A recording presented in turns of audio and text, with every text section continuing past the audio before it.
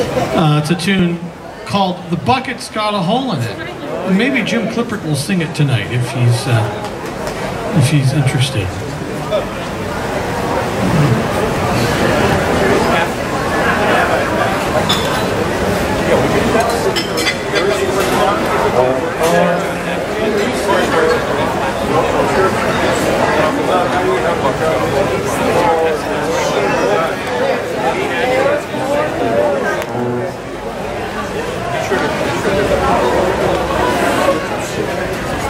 Guys, here we go.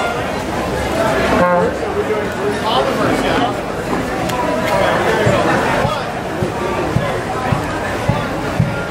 The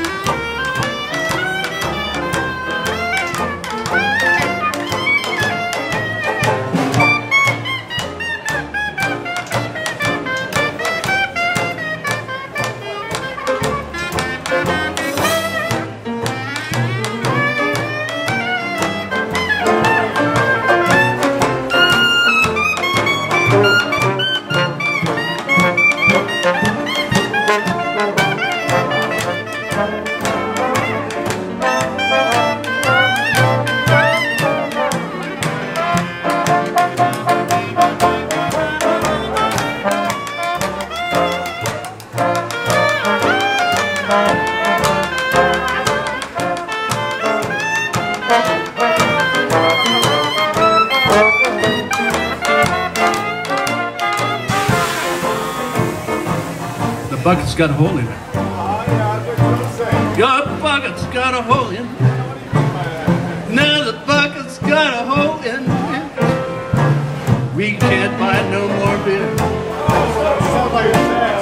I'm telling you, the bucket's got a hole in it. It won't hold anything.